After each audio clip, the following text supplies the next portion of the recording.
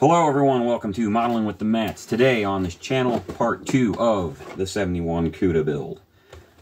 And today we will be focusing on the first step in the instructions, which is engine assembly. So without further ado, I'm going to lower the camera down to the table and we're going to get right on.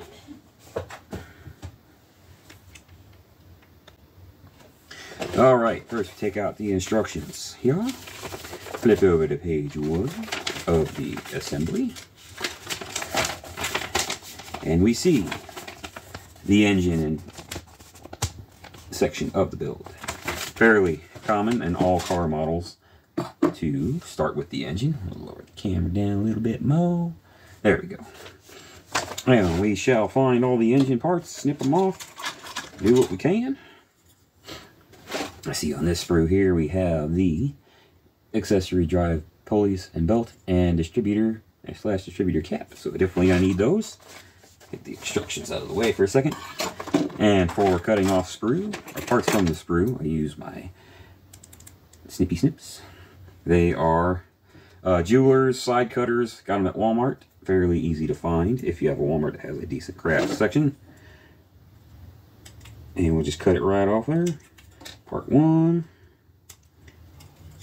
And part two. That's all the engine parts on that one. Here we have the front cover uh, intake.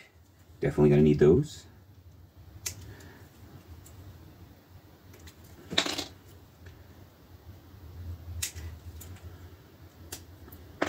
And also, oh, there's the fan. Gonna need the fan. The instructions do say numbers associated with the parts. So if you don't know the engine parts as good as I do, there's also the exhaust manifolds here that we're going to cut off. They're numbered. So if I say you need part one, you'll look on all the sprues, find part one, blah, blah, blah, blah, blah, etc., etc. Do it that way. But being, being a car model builder, I know what the engine parts are, and I'll know what they look like on the sprue. It also helps that I work on cars for a living, so definitely experienced in this kind of stuff. Here's the engine block and transmission on this one here. I'm going to cut those off because those are quite important parts of the engine build. And there's cylinder heads over here. I'll do those. And after we cut all them off, we'll sand them down. I believe the only thing left are, let's see, let's take a look. The only thing I haven't cut off yet are the valve covers, which are usually chrome, and the alternator, which are sometimes chrome, sometimes not. In this case, they are chrome, and the carburetors are also chrome, so it should all be on this guy. Just rip open the little plastic baggies, because I'm an animal. Alright, alright, right there is probably good. Alright, snip off the valve covers. Oop, that one's already broken off. Got one, two. There's an alternator here. Come on, there we go. And we got two four barrel carburetors for the 426 Hemi engine. Now, four barrel, two barrel. What that means is that there's four ports for fuel to go into. They call them barrels. So, that being said, these here are the engine assembly pieces all laid out nice and neatly. Not a lot of pieces, which is good. Because if you're building cars, simplicity, building any kind of model, simplicity is key.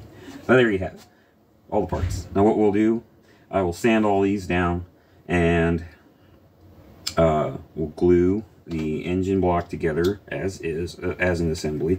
And then we'll put the cylinder heads on it as an assembly. And I believe the intake too, but I will have to Google pictures of the 426 Hemi to make sure that the intake intake heads and engine block are all painted the same color, along with the front cover too. And then the exhaust manifolds, those are going to be painted a steel color So those will be painted separately. The fly, not the flywheel, the engine cooling fan, an accessory drive, and I, well, I'll have to Google the distributor too, but those two pieces, the fan and the accessory drive and belts will be painted like a semi-gloss black or flat black or even a rubber. A belt, I would do a rubber black, but I don't have any rubber black at the moment. Alternator will leave chrome, and the carburetors and, and valve covers will, use, will leave chrome as well. So yeah, that's basically what's going to happen. I will fast speed up the video while I'm sanding because it is a tedious and kind of boring process. So uh, I will show you the sander is I'm going the sander I'm going to use to do all this. It is a Flory sander, the specifically the green one is my favorite, so we'll use that. And yeah, uh, enjoy the fast, sped up stuff. Okay.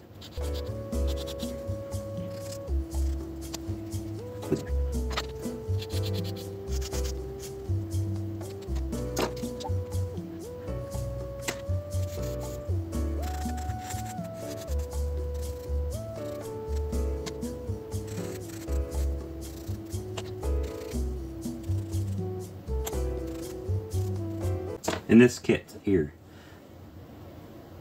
this little piece is not supposed to be there. It does tell you to cut it off. So we will do that. Sometimes they tell you to cut stuff off. This, this is one of those times.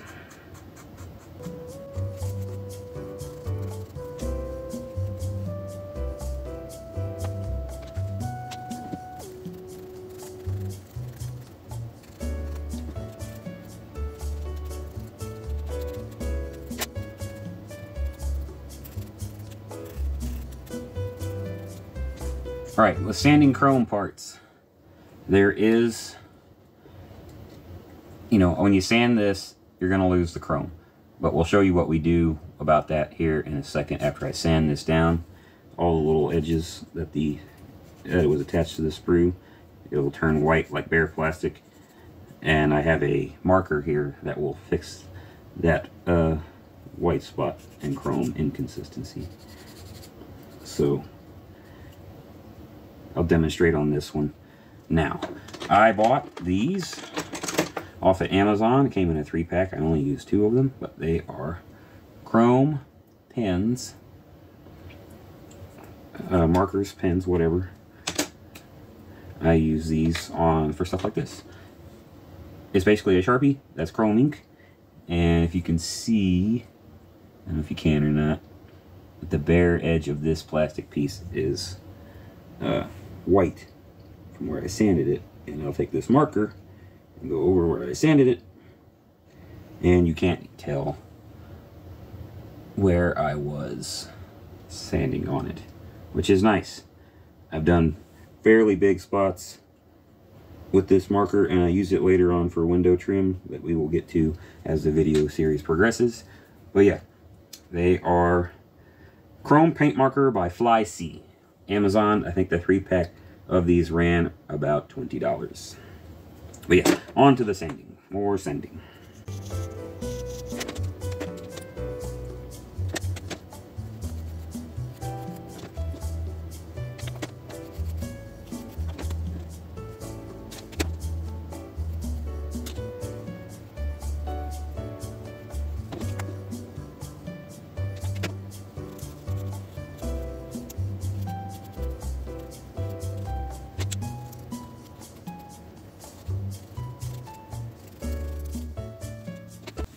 All right, the uh, sanding is done. First thing we're going to do, take the engine block and transmission halves, glue them together. Then we'll let it dry. Uh, no, we, we will do that together. Then we'll glue this head on there and glue the other head on there. And the front cover, we'll glue that and glue that on there too. And then once that dries, we will sand the seam out of the bottom of the engine and transmission as best as we can. It's never going to be perfect, and we'll do the same thing to the top here.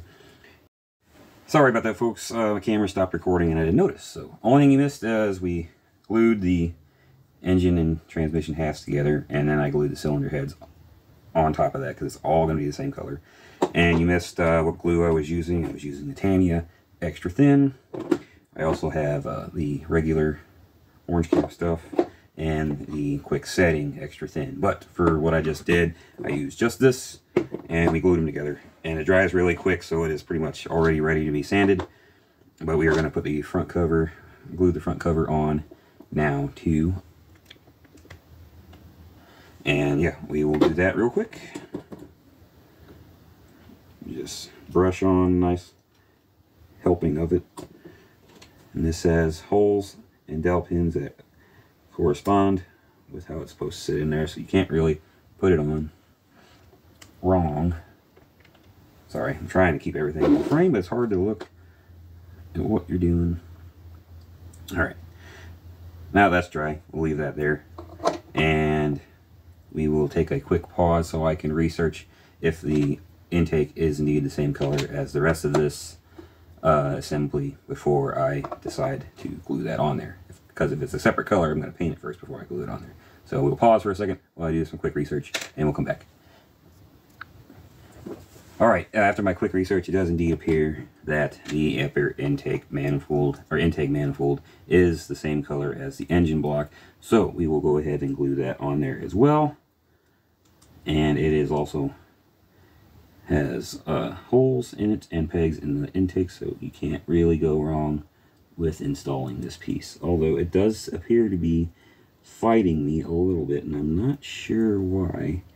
It can only go on one way one way only so I'm trying to see why it is indeed not wanting to go.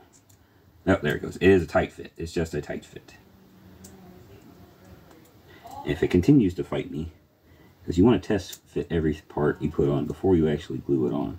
So if it continues to fight me, I may cut the pegs off of it because it's not like it can go anywhere else in here. So I believe I'm going to do that because it is still, it's a tight fit, but it's also not fitting very well. So we will modify the piece by cutting off the mounting pegs and sanding it flat. Because like I said, it, does, it goes in between the heads, so it can't really move even if it wanted to. Plus, glue will hold it down. So we will just uh, avoid the annoyance and glue it on. Yeah, that's already it's already way better of a fit. And it can't move. It can kind of it moves front to back, but once you glue it down, it's not going to go anywhere. We will take a glance just quickly. And actually, if you look on the instructions over here, there it shows only one peg in the bottom of the intake. This one had two, so I think one of the pegs was just a molding piece that got in the way, and that's why it wasn't fitting correctly. So, that being said, we will just take off some of this, put it on here, nice, nice layer of it, just because we don't want it to go anywhere. We will position it where we want it, and then we'll go back on the edges and put some more glue because there's nothing worse than using too little glue and then later the piece pops off after you've already done a lot of work on it and gotten it how you want it. Alright, we will let that sit, dry, and we will sand the seams, like I said earlier, out of the top and bottom of the engine transmission assembly. But what we can do right now is paint some stuff. And I will use my reverse locking pliers, needle, or pliers, reverse locking uh, tweezers to hold a piece while I paint it. And this is an exhaust manifold, left and right. Uh, even if you cut them off, they can only go on one way on the model, so you don't really need to worry like, oh, which one's the left one, which one is the right one? It, it's easily, uh, you'll find out the hard way that it can only go on one way. That being said, we will clamp a piece in here, paint it, uh, well, I want steel color, so I will use Model Air, not Model, yeah, Model Air metallic paint by Vallejo steel color. And we need this guy, because it is a squirt top, not an open jar like Tamiya paint, so you can't dip your brush in here. Shake it first. It's a nice sound. Squirt a drop or two. I usually do two drops to start with because a little goes a long way. And I'll use something out of my arsenal of tiny paint brushes. I will use not the tiniest one. I'll use. I'm gonna use probably this guy. And yeah, we'll just go to town. We'll just paint. And I'll probably speed this up too, so it's not as tedious to watch.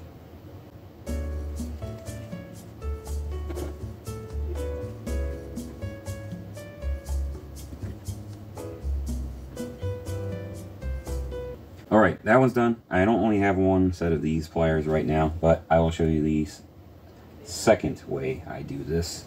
I will take, in this case, a screwdriver, and I'll put sticky tack, this stuff here, and I will put the glob of that on the screwdriver, and then you can hold a piece with the sticky tack fairly good. It's kind of jank, but you can crimp a piece in there and then you can hold it with your thumb and it in your finger and it won't fall out unless you're really trying to get it out of there but it should stay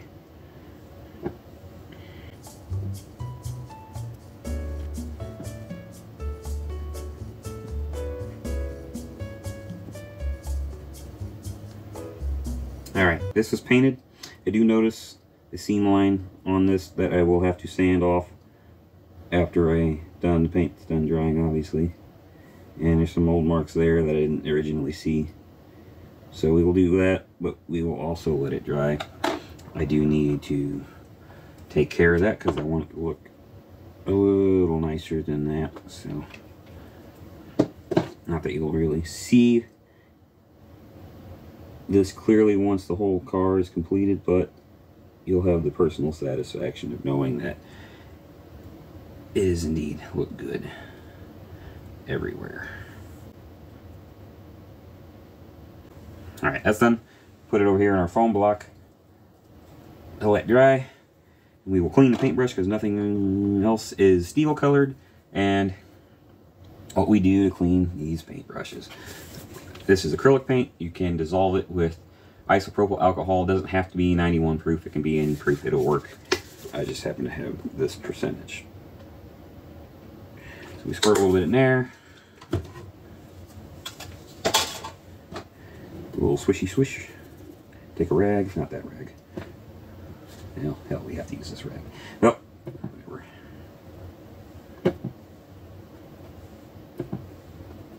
All right, that's clean. Next, we need, uh, I'm to use a flat black on this stuff. And then later on, we'll detail it with uh, paint markers and such. But we'll do the fan, distributor, and the accessory drive belts, belt and pulleys. We will grab a flat black Tamiya flat black X1, XF1, sorry. Good stuff. Shake.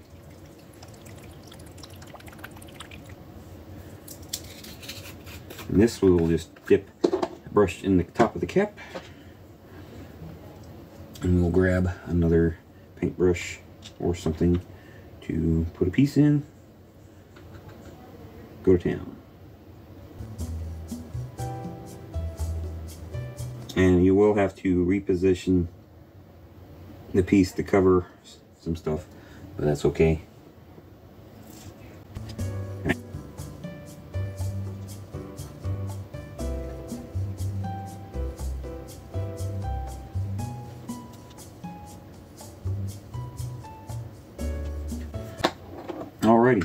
that stuff is painted. What we can do now is sand on the engine block slash transmission seams. Try and get rid of those. And if I can get this freaking paint cap back on, that would be great, but it is fighting me! There. First, clean paintbrush off.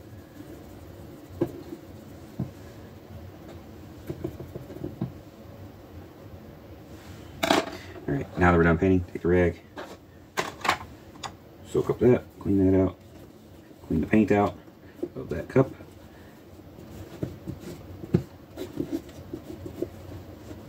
Alright, toss off to the side. Get the engine block. Take your sander and you try and get rid of the seam.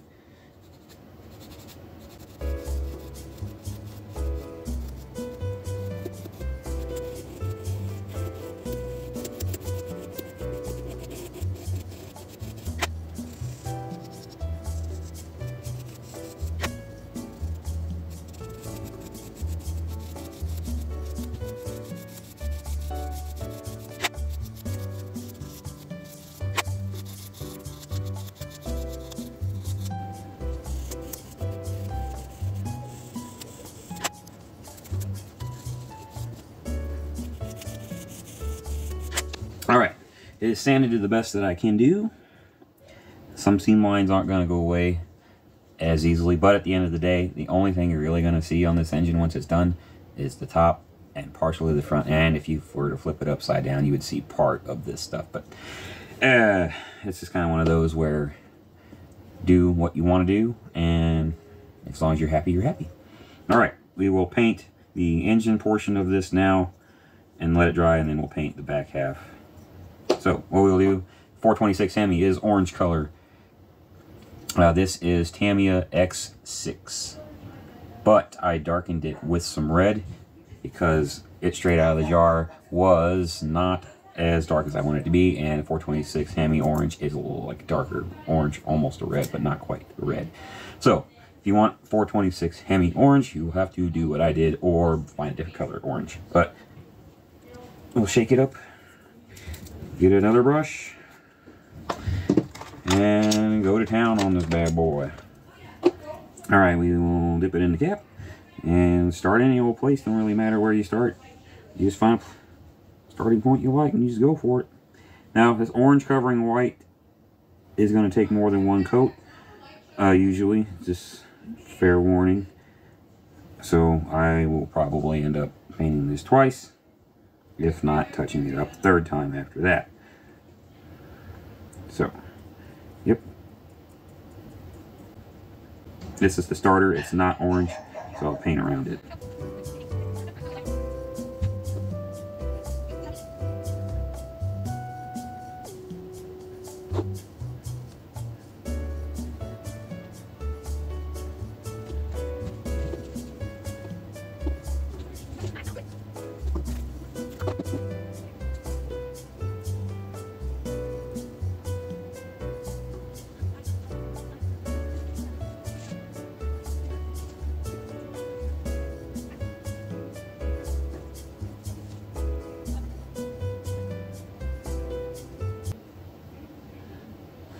All right, it is painted the first coat. I, it looks like I will have to go over it once more and clean up the spots that uh, aren't going to get coated.